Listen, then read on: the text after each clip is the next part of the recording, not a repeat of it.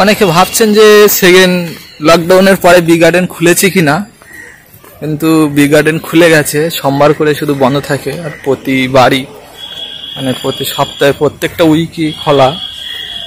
আপনারা আসতে পারেন, আর যদি কোনো মানে লোকেশান সম্পর্কে বা আশা সম্পর্কে যদি কারও জিজ্ঞাসা থাকে, তাহলে আমাকে কমেন্টের মাধ্যমে ফোন নাম্বারটা দিয়ে দেবেন, আমি জানিয়ে দেব। চলুন বন্ধুরা, তাহলে আমরা বি গার্ডেনটা ঘুরে দেখি।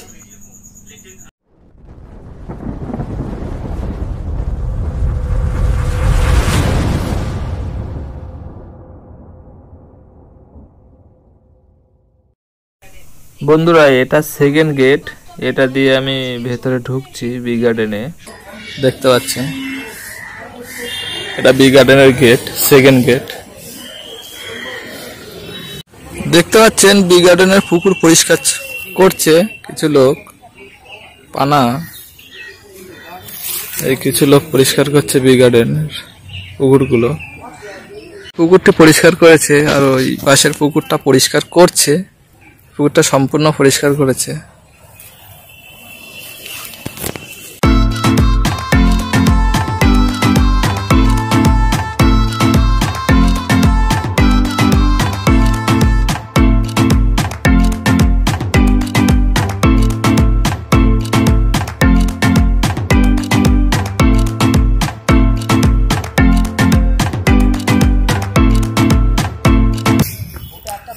দেখতে পাচ্ছেন এই গাছটা কত সুন্দর ফুল হয়ে আছে। আর বন্ধুরা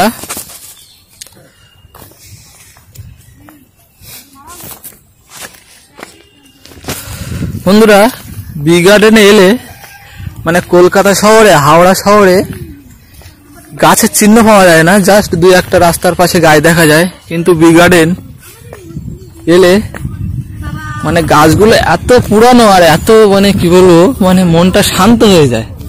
খুব মানে বড় বড় গাছ, আর অনেক দিন গাছগুলো বয়সও হয়েছে। এই গাছটা মরেও গেছে, কারণ গাছটা অনেক পুরনো হয়ে গেছে। এই একান্ন লেখা আছে, এটা ক্যালিফ মানে প্রত্যেকটা গাছ এত মোটা আর এত সুন্দর, মনটা জুড়িয়ে যায়, কোনো গাড়ির আওয়াজ নেই। কোনো গাড়ির আওয়াজ নেই। পুরো একদম নিস্তব্ধ, শান্ত পরিবেশ। মানে কারও যদি মন খারাপ থাকে, মন ভালো করার জন্য এই জায়গাটা আসতে পারে। খুব শান্ত জায়গা। শান্ত জায়গা, নিরিবিলি একা একি কাটানোর জন্য খুব ভালো। আর যদি সাথে বন্ধু বান্ধব থাকে তা, সে তো আর কথাই নেই। খুব ভালো একটা প্লেস বিশেষ করে মনের দিক থেকে শান্তির জায়গা। মনটাকে শান্ত করার জন্য এখানে আসা তো উচিত।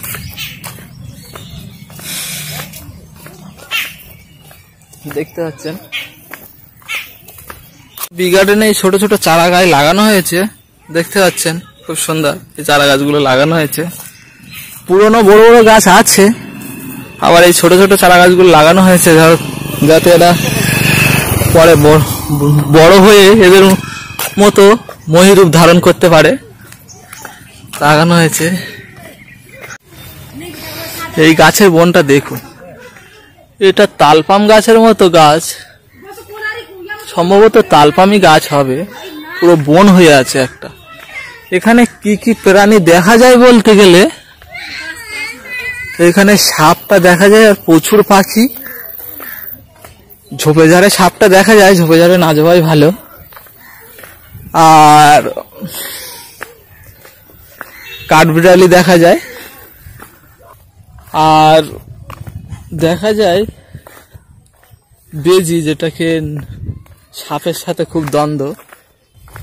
এই প্রাণীটা এখানে খুব দেখা যায়। দেখতে, একটা জিনিস দেখুন, এখানে তাল গাছের মতো হয়ে আছে। এখানটায় তাল গাছের মতো হয়ে আছে, কিন্তু কতগুলো ডালপালা ছেড়ে আছে দেখুন। পুরো মানে একটা সিম্পল গাছের মতো বৃক্ষ, বৃক্ষে যেমন বিভিন্ন ডালপালা ছেড়ে ছেড়ে একের পর এক উঠতে থাকে। সেই রকমই কিন্তু এটা তাল গাছের মতো। আমরা স্বাভাবিক জানি তাল গাছে কোনো একটাই কাণ্ড থাকে, আর কোনো কাণ্ড হয় না। কিন্তু এই গাছটা বিভিন্ন কাণ্ড বেরিয়েছে। আপনারা এখানে এলে বিভিন্ন রকম গাছ দেখতে পাবেন এবং তার সম্পর্কে জানতেও পারবেন।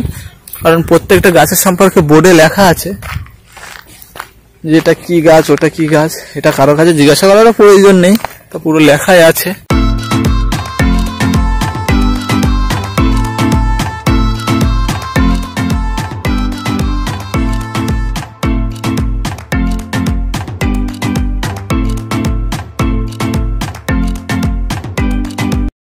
বন্ধুরা, এই গাছটা দেখুন, মনে হচ্ছে যে একটা খেজুর গাছ, কিন্তু না, এই গাছটা খেজুর গাছ নয়।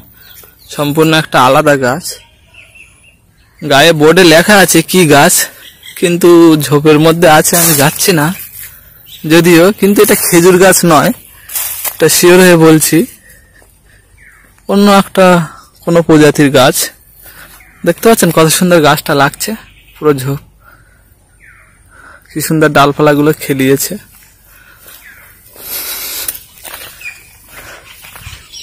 এখানে পাখির কুঞ্জন শোনা যাচ্ছে। আর বিভিন্ন পাখির ডাক শুনতে গেলে এখানে চলে আসে। মানে মন জুড়ানো পাখির ডাক। বন্ধুরা, এই গাছটা দেখুন, কত বড়। এখানে বোর্ডও মারা নেই যদিও, কিন্তু গাছটা অনেকটাই বড়। আর কতটা মোটা দেখতে পাচ্ছেন? পুরো চার থেকে পাঁচজন মানুষ এই গাছটাকে ধরতে গেলে চার থেকে পাঁচজন মানুষ পাঁজা করতে লাগবে। গাছটা পঞ্চাশ থেকে ষাট বছর বয়স হয়েছে। তার থেকেও বেশি হতে পারে। কত পুরনো গায়ে দেখতে পাচ্ছেন? মানে কলকাতার বুকে বা হাওড়ার বুকে যদি পুরনো গায়ে দেখতে চান, তা বি গার্ডেনে চলে আসুন।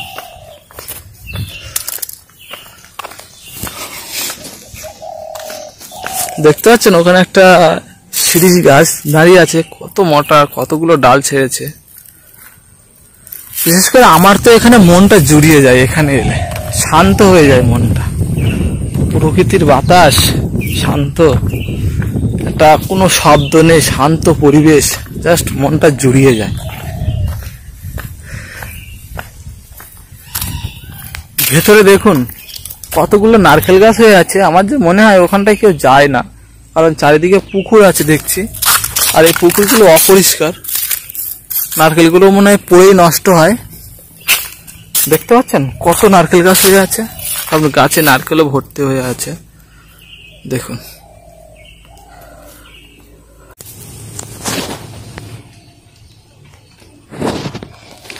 দেখতে পাচ্ছেন? এখানে পাখিগুলো চড়ছে।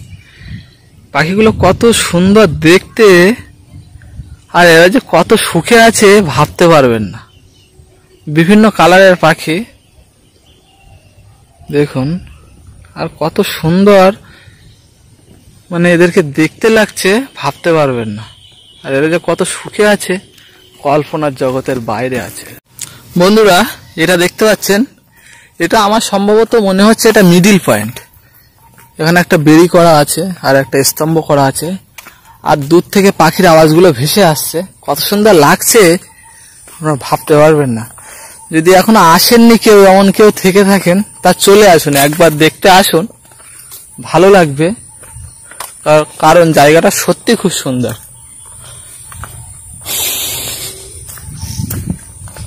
এটা দেখুন, চারিদিকে গাছের সারি, তাল গাছ মতো লম্বা লম্বা গাছের সারি মাঝখান দিয়ে একটা পথ। একটা লোক হেঁটে আসছে দেখছি। কত সুন্দর দেখুন।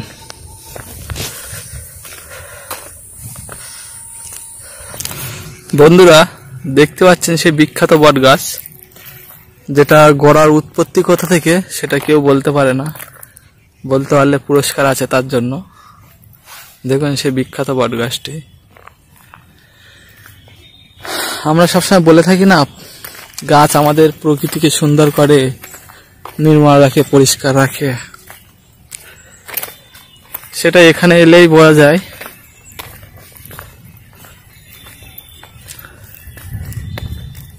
এখানে এসে এমন মনে হচ্ছে যেন গাছগুলো তাদের উপরে কাদের দায়িত্ব আছে প্রকৃতিটাকে নির্মল রাখার জন্য।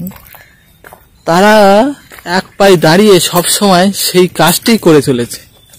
তারা প্রকৃতিকে নির্মাণ রেখে চলেছে। দেখতে পাচ্ছেন গাছের শেগুর কতগুলো? ভেতরে আরও আছে। ব্যারিকেড দেওয়া আছে, যাওয়া যাবে না।